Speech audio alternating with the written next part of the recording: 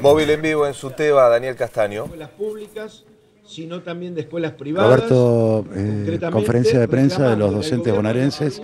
Está hablando Roberto Baradel, el titular de su tema, lo escuchamos. Que haya respuestas a las necesidades que tenemos los docentes y los trabajadores de la educación y que tienen los chicos en la provincia. ¿Cuáles son las necesidades? Cortes de servicio de transporte escolar. Hay chicos que no van a las escuelas porque el servicio de transporte escolar no lo lleva.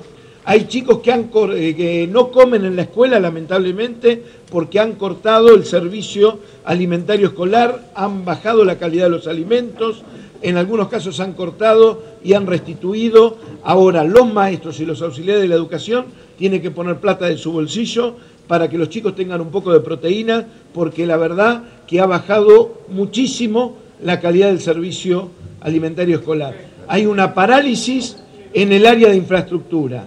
Hay más de 3.000 docentes que no cobraban. Recién tuve una conversación por vía telefónica con la directora general de Cultura y Educación y me informó en el aire que son 20.000 los docentes que le, han dado el alta y si son 20.000 todavía es mucho más grave la situación concretamente. Queremos que estos docentes puedan cobrar porque ningún funcionario podría vivir sin cobrar parte del salario.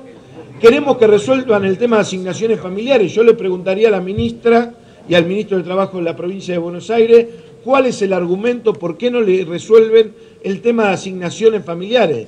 Para que tengan una idea, más de la mitad de los docentes y de los trabajadores estatales de la provincia con hijos menores de 18 años no cobran el salario familiar.